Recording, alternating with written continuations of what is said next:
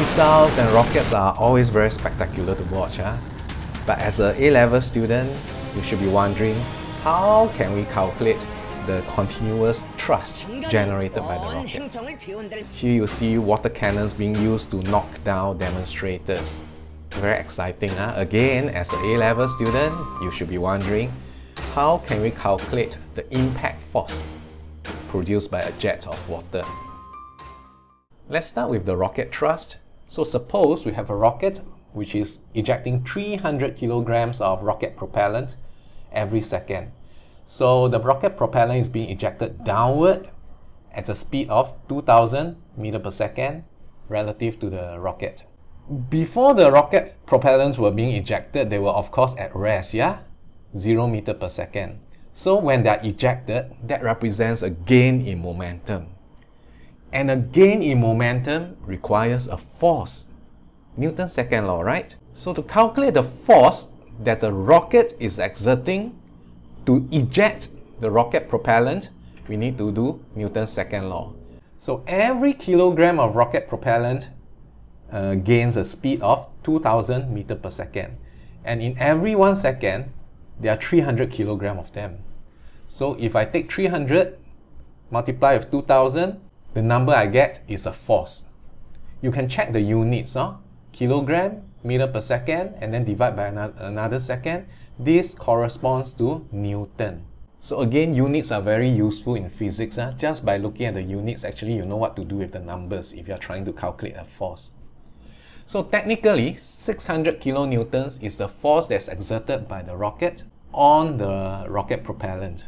So the upward thrust force that the rocket receives is of course the action-reaction pair, so it's also 600 kilonewtons. Now there are a lot of books which uh, show the calculation this way, so they're actually using the V dm dt formula, which can be kind of derived uh, if you do the differentiation and you assume that V is constant uh, and m is changing. I've nothing against using this formula, but just be careful. When you see V, you should be thinking of delta V actually. is the change in velocity experienced by the rocket propellant.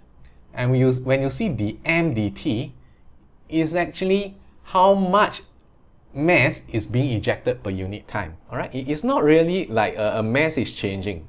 It's the rate at which the is how many kilogram per second the rocket propellants are being ejected at. So if you just uh, plug in the numbers, you get the same answer. Okay, how about the water cannon thing? So let's say we have a, wa a water jet with a cross-sectional area of 2.5 cm square. And let's say the density of water is 1000 kilogram uh, per meter cube.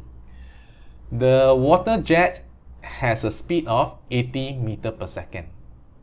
When it hits a wall, let's say the, wa the water just loses all its uh, horizontal momentum, trickles vertically down the wall it lost momentum, right? So Newton's second law says that if you are losing momentum, you must be experiencing a force. So what is the force exerted by the wall on the water to destroy all its momentum? Ah, for that, we must first figure out how much water hits the wall per unit time. So since it's moving at 80 meters per second, let's consider the length of 80 meters. So the water jet is moving at 80 meters per second, yeah? So if I'm the water here, would I arrive at the wall within one second? Yes, right? Here also, right? Here also, right? Even if I'm here, I'll still be able to arrive here within one second. So the last bit of water that arrived just in time will be here, right? That's 80 meters away from the wall. So that means uh, this cylindrical volume represents the volume of water that hits the wall per second. So if I take 2.5 times 80 meter per second, what I get is the volume per second hitting the wall. So if I take the volume per second and multiply it with the density, what I get is the kilogram per second. So every kilogram of water that hits the wall loses 80 meter per second of velocity. But there are 20 kilogram of them hitting the wall every second.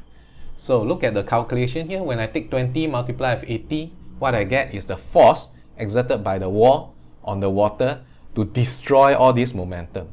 Right? That's the rate at which momentum is being destroyed here. So again, technically, This is the force exerted by the wall on the water jet. By Newton's third law, we know that the water jet is also exerting a impact force of 1.6 kilonewtons on the wall. Of course, you can use the V dm dt formula to calculate as well. So again, let me remind you, V is the change in velocity. It's not just V, uh, it's the change in velocity. And dm dt is the mass per unit time hitting the wall here. So dm dt can be written as rho av. So if you look carefully, A times V is the volume per unit time.